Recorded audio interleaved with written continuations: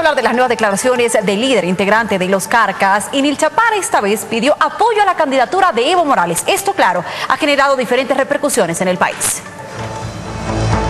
Hoy somos un pueblo fuerte, tenemos una economía muy fuerte. La Argentina se derrumba, se cae, el Brasil se cae, todo se cae a nuestro alrededor, nosotros seguimos bien parados. Gracias a nuestro hermano presidente.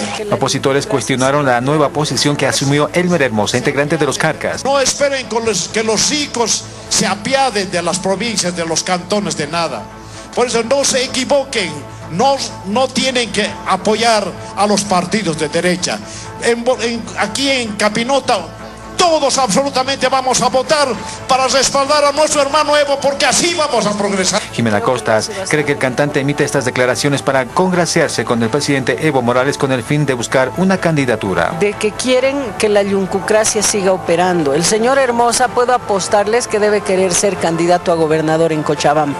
Entonces para ser candidato a gobernador se está mostrando y tiene que estar de amarraguatos y de chupatetillas para que el presidente lo ponga como buen yuncu. Oficialistas creen que las obras que hizo el gobierno hace que varios cantantes y otros apoyen a Evo Morales. Que el movimiento indígena originario, campesino, un hermano Aymara Quechua haya asumido como gobierno y haya hecho realidad muchos sueños y anhelos de un pueblo como el Estado Bolívar.